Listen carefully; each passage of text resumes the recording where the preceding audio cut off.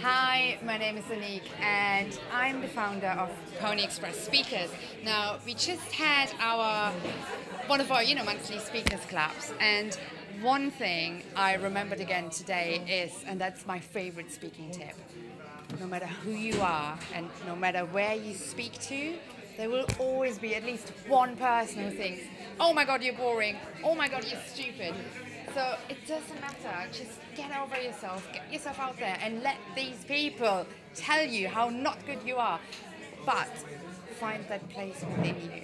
Because the more you love yourself, the more other people will resonate with who you are, no matter what you say.